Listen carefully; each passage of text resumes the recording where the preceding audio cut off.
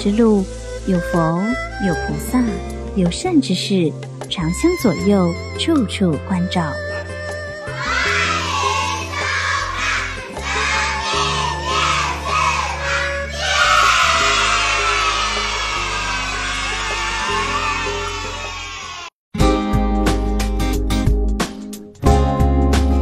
接下来，请收看《爱护生命》卡通动画系列。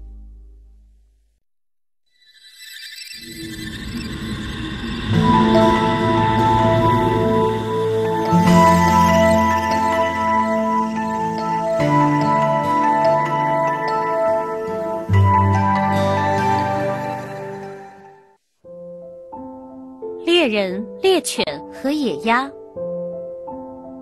随着人们对动物保护意识的抬头，原生活在山林边、依靠打猎为生的那些猎人纷纷转行，但是固执的田阿伯却依旧不愿改变自己的生活方式。田阿伯，你看别的猎人都改行了，我们这里只剩你还打猎了。田阿伯，你也改行做点别的事情吧。我打了半辈子的猎了，除了打猎，其他的技术也都不会。如果不打猎，要靠什么生活呢？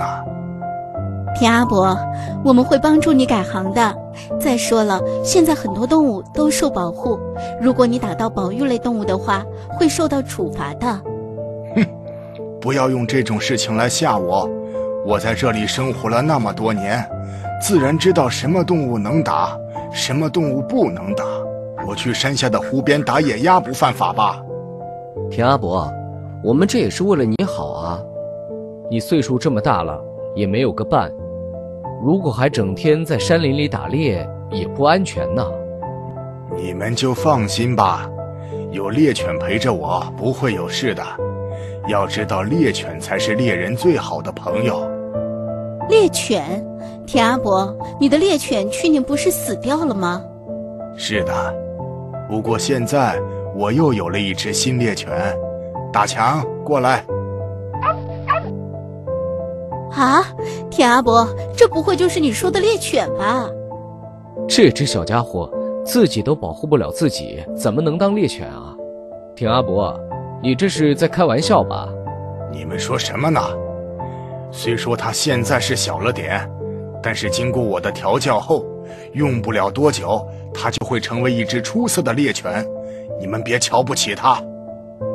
此时，那只小狗似乎也感觉到了那两位护林员瞧不起自己，于是便朝着他俩大声汪汪叫着。田阿伯并没有制止小狗，而是冷冷地看着两位护林员。看来我的猎犬也不欢迎你们呐。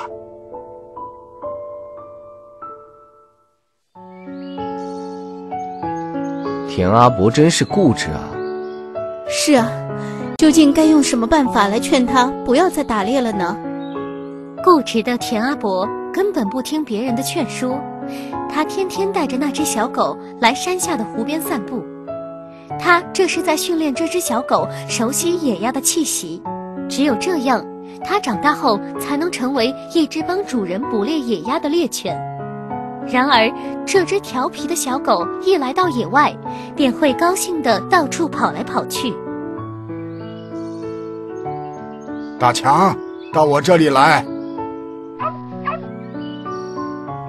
大强，你闻闻，一定要记住这个味道，这就是野鸭的味道，知道吗？你记住这个味道了？很好。有机会我抓只野鸭，让你好好的看一看，记住它们的样子。田阿伯话刚说完，湖里的一群野鸭叫着从湖面上飞了起来。田阿伯见后，急忙拿出手中的猎枪，可他刚端起猎枪，却又放了下来。现在，即便将它们打下来，又能怎样？我又没有小船可以从这里过去抓它们回来。算了。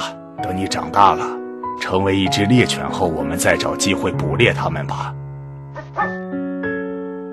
嗯，大强，那你得快点长大哦。这只小狗非常的聪明，没有多久，它便熟悉了这片区域。于是便时常独自跑到这里玩耍。大强，你又想去湖边了是吧？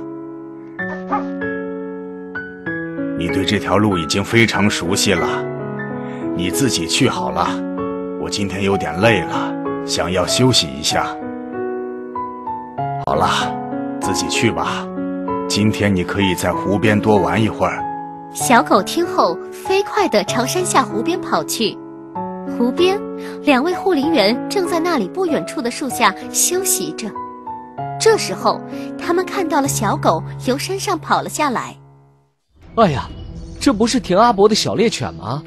它怎么自己跑出来了？它不会是去湖里捉野鸭吧？走，我们去看看。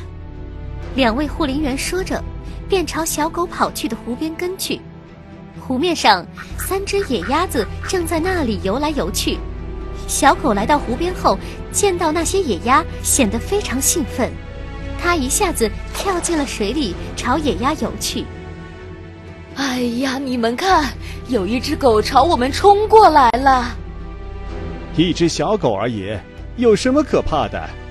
对呀，它对我们不构成威胁的。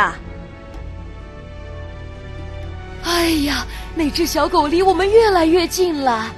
走，我们游到湖中央，我倒要看看这个小家伙有没有胆子跟过来。说着，鸭子们朝湖中央游去。而小狗的目光一直盯着它们，竟然也跟着朝湖中央游去。然而，这只年纪尚幼的小狗哪里能在水里游太久呢？他很快便感到体力不支。可是此时已经离湖边有很长的一段距离。然而就在这时候，他的后腿被水草给缠住了。啊啊！怎么回事？我怎么游不动了？不行，我得休息一下。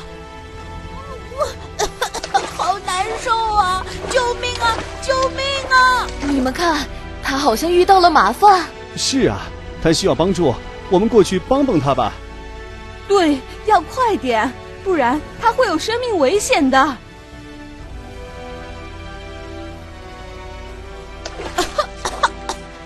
不好，那只小狗溺水了。怎么可能啊？狗是会游泳的。哎呀！它的后腿好像是被什么给缠住了，这样的话它可就麻烦了。啊，哎呀，你快看，那几只野鸭子竟然游过去帮忙了！天啊，真是不可思议！那些野鸭竟然会去救一只猎犬。那只小狗算什么猎犬啊？或许在那些野鸭眼里，它也只是一个孩子罢了。野鸭们咬断了缠在小狗腿上的水草，小狗急忙朝湖边游回去。小狗游到湖边后，朝着湖里的野鸭们不停地摇着尾巴，然后汪汪叫着，像是在表示感谢一般。从那以后，这只小狗每天都会来湖边和它的野鸭朋友们玩耍。渐渐的，它长大了，田阿伯决定带着它来湖边捕猎野鸭。大强，你长大了，今天我就带你去湖边捕猎。我相信你一定会是一只优秀猎犬的。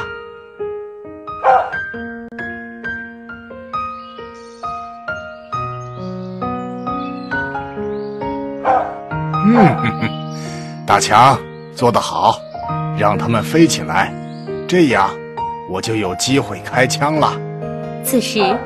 湖里的那群野鸭听到狗的叫声后，纷纷循声望去。突然，他们看到了田阿伯，野鸭群大惊，于是一下子飞了起来。田阿伯兴奋地举起猎枪，太棒了，机会来了！我看你们往哪里跑！就在田阿伯准备扣下扳机时，大强一下子扑了过来，朝田阿伯撞去。田阿伯被撞得一个踉跄，然后手扣动扳机，随着“砰”的一声枪响，野鸭们惊恐地叫着，越飞越远。大强，你这是在干什么呀？多好的机会，让你给搞砸了！还有一只，太棒了！大强，你要干什么？别捣乱！哈哈，打中了！他身上果然流着猎犬的血液，见到猎物后，本能反应就会去捕抓。说着，田阿伯朝大强跑去的地方看去，等待着他叼回猎物来。然而，田阿伯等了许久，也没等到他回来，于是便亲自朝小野鸭坠落的地方走去。来到湖边小野鸭坠落的地方，他一眼看到了翅膀中弹的小野鸭，而大强则在他身旁转来转去，显得一副很着急的样子。大强，你在干嘛呀？赶快把它给我叼过来！啊，大强，你想要干什么？难道你连我的话也不听了？快把它给我叼过来！你这个家伙要背叛我吗？我说最后一遍，快把它给我叼过来！嗯，你竟然不听我话了！田阿伯端起猎枪对准大强，大强看着猎枪，丝毫没有退缩的意思。田阿伯更显得异常愤怒，他用手扣住了扳机，准备开枪。你真是一只失败的猎犬。或许对于你来说，它是只失败的猎犬，但它却是一只懂得报恩的义犬。哦，你们怎么来这里呢？是你的枪声把我们引来的。我捕猎野鸭不犯法吧？你们不要多管闲事。那你为什么要用枪对着你的狗呢？你说的对，这是我的狗，就算我杀了它，你们也管不着吧？你怎么能对你从小养大的狗下手呢？作为一只猎犬，竟然不听主人的话，这样的狗留着还有什么用呢？唉，或许有些事情你还不知道吧。于是，护林员便将自己那天看到野鸭救助大强的经过一五一十地说了出来。所以说，它是一只懂得感恩的义犬。这么通人性的狗，你怎么能打死它呢？啊，原来是这样啊！真的没想到。真的没想到啊！此时，田阿伯的猎枪滑落，掉在了地上。野鸭和狗的友谊打动了田阿伯，他将小野鸭带回家里，并为其进行治疗。很快，小野鸭便恢复了健康。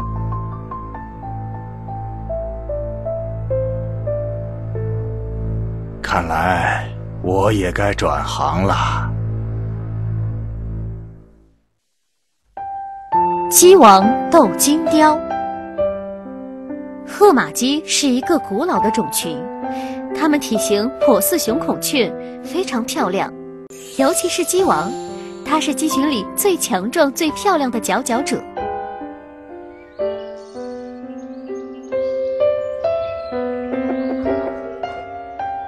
哇，我们的头领好雄壮漂亮啊！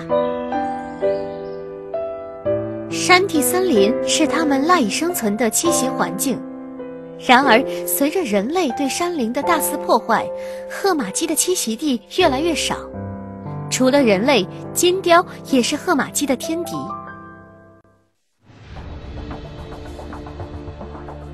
嗯，哈哈，太棒了！看来今天又能美餐一顿了。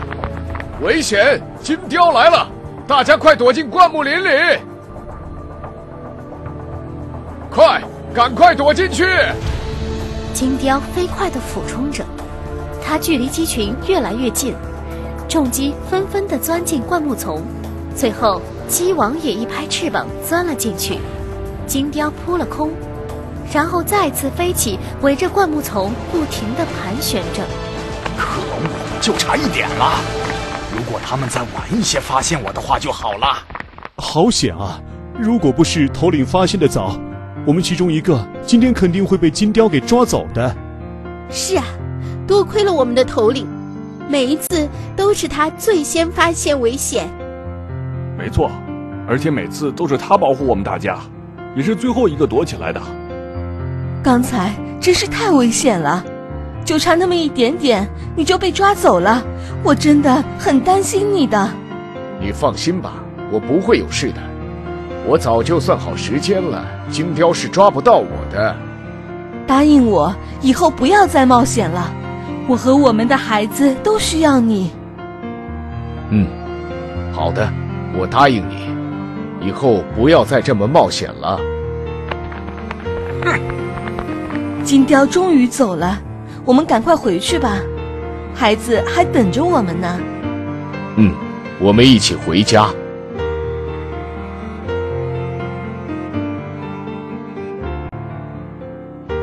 头领，你们的宝宝快要出生了吧？是的，过不了几天，他们就会破壳而出了。我相信，他们一定长得都像你一样漂亮。没错，而且还都会像你一样强壮。呵呵，我想会是这样的。几天后，鸡王的孩子四只小鸡破壳而出了。对于刚出生的小雏鸡来说，森林里充满了危险，因此在小鸡长大的这段时间里，鸡妈妈需要形影不离地保护着它们。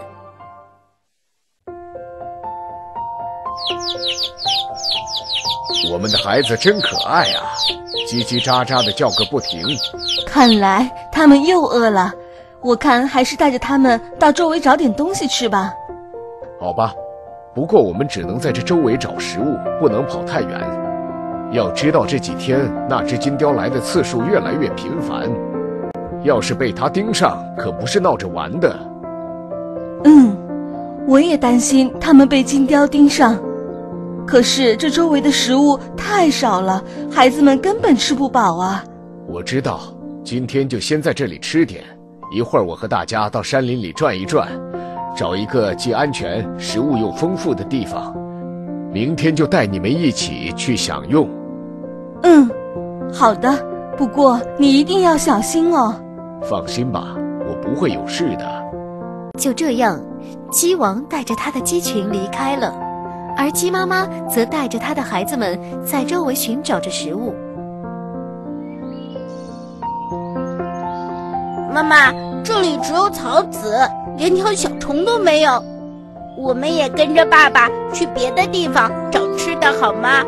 是啊，这里根本就没有好吃的食物啊！那不行，你们还太小，如果遇到了金雕，那可是非常危险的。金雕，金雕是什么？那是一种非常凶猛的鸟，它们飞得又高又快，一旦发现了我们。便会扑下来，用利爪将我们抓走吃掉。天啊，真是太可怕了！妈妈，你和爸爸能打得过金雕吗？我们鸡哪里打得过金雕啊？即便是像你们爸爸那么强壮的鸡，也不是他的对手。所以看到金雕后，你们一定要用最快的速度躲进灌木丛。妈妈，我们知道了。嗯，知道就好。然后继续和孩子们在一起找着食物。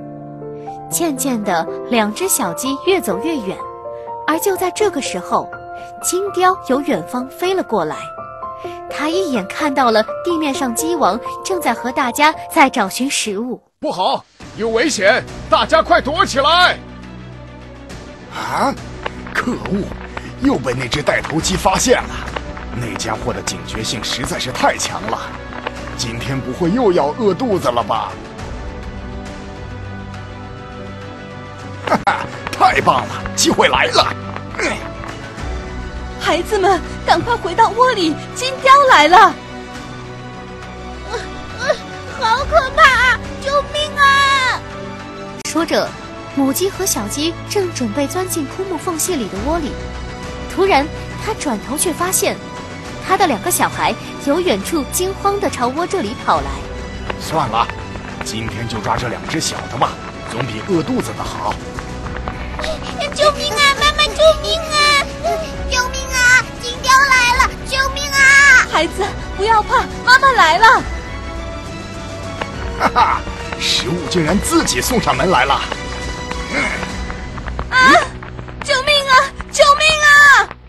为了保护自己的孩子。鸡王的妻子被金雕抓走了，这让鸡王伤心了许久。然而鸡群和他的孩子还需要他，鸡王振作精神，将他的孩子养大。转眼间，冬天到了，要想找到食物越来越难了。于是，鸡王带着他的鸡群到处寻找食物。我们挖了那么久，但什么吃的都没看到。我看还是换个地方吧。再坚持一下，头领说会在这里找到食物，那就一定会找到的。嗯，好吧。爸爸，这里真的能找出食物来吗？是的，这里有一片沙棘树，沙棘果必然会掉落在地上被埋起来。只要仔细寻找，我相信一定会找到的。哈哈，找到了！我找到沙棘果了。这片区域是我的，你们不能来抢哦。在严冬，任何动物要想找到食物都不是件容易的事情，不只是褐马鸡群，还有金雕，它也因为大雪好几天没有进食了。好饿啊！今天无论如何必须找到猎物来填饱肚子。嗯。太好了，美食出现了！大家快躲起来，金雕来了！金雕，我妈妈，我妈妈就是被他抓走的。孩子，危险，快躲起来！然而，金雕已经将目标锁定了已经长大的小鸡。可就在他准备伸出利爪抓住小鸡的时候，鸡王一下子窜了过去，直接朝金雕撞去。丝毫没有防备的金雕竟然被撞落在地。孩子，你没事吧？我没事，爸爸。是他，就是他，把妈妈给抓走的。鸡王听后，用愤怒的目光看着金雕。已经长大的小鸡们此时也纷纷跑了过来，他们聚集在了鸡王身边，一起用愤怒的目光盯着金雕。金雕从地上爬了起来。他也愤怒地盯着面前的鸡群。可恶！今天竟然被一只鸡给耍了，我非吃掉你们不可！说着，他拍打着翅膀朝带头鸡扑去。尽管金雕能日飞千里，可它奔跑的速度和灵活机敏的程度却远远比不上褐马鸡。而鸡王带领着他的孩子却越战越勇，他们一边躲闪着金雕的进攻。一边找机会去啄着金雕，可恶的家伙，我绝饶不了你们！太棒了，金雕被我们的头领赶走了。头领万岁！头领万岁！嗯，头领小心，金雕又来了！啊！哎呀！啊！可恶的家伙，今天我非吃掉你不可！爸爸，小心！赶快回去，不要过来！嗯，我看你还敢不敢啄我！哎呀，哎，可恶！你快给我松口！然而鸡王死死地咬着他的脖子，丝毫没有放松的意思。就这样，金雕和鸡王纠结成一团，在开阔的雪地上滚动着。片片羽毛在飞舞，在这生死搏斗的时刻，强大和弱小已融为一体，攻击者与被攻击者也再难以区分。他俩顺着山坡不停地往下滚着，而在山坡的尽头则是悬崖。就在他俩快要滚到悬崖边缘的时候，鸡王一下子撞到一块凸起的山石上，他疼得一下子张开了嘴。此时已经伤痕累累的金雕一下子挣脱了鸡王。他心有余悸的急忙后退几步，狼狈不堪的看着鸡王，而鸡王也气喘吁吁的死死的盯着他。金雕显得有些惊慌，他急忙拍打着翅膀，摇摇晃晃的仓皇逃走。鸡王看着逃走的金雕，然后一下子跳到了山石上，发出一声明亮的叫声。此时鸡群纷纷走了过来，他们用崇敬的目光看着鸡王。金雕逃走了我们的头领打败了金雕。没错我们的头领是最伟大的以后也会一直保护着我们的。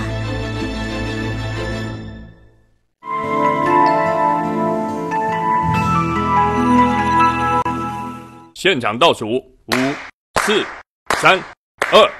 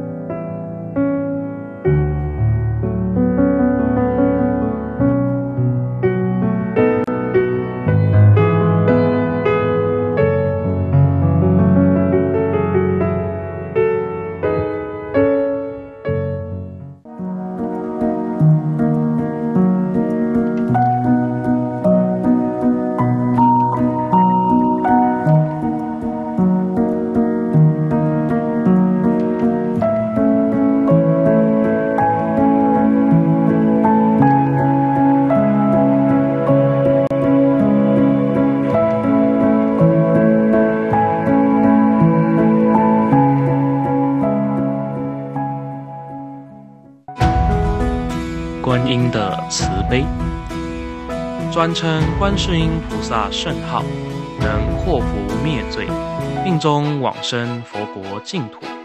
此足证称念观音圣号与念佛功德无异。愿一切念佛人于念弥陀之外，兼念观音。若遇患难，则宜专念观音，因观音悲心甚切，待佛垂慈救苦。感应甚速，祈愿大家经常给自己有时间，将来念观音菩萨、念大悲咒、念六字大明咒。我想，流浪的孤儿最大的快乐是回到妈妈的身边。所以，当我们一念观音菩萨，一专心，我们就回到佛陀的怀抱了。所以，往生极乐世界是我们的愿。成就功德，趁愿再来普度众生，更是我们的无尽愿。但是往生极乐世界不用等到死亡，你的心很相信，然后你念阿弥陀佛，你的心就跟阿弥陀佛合在一起，就在极乐世界了。就像点灯一样，愿你弥陀合为一，当下就如此了。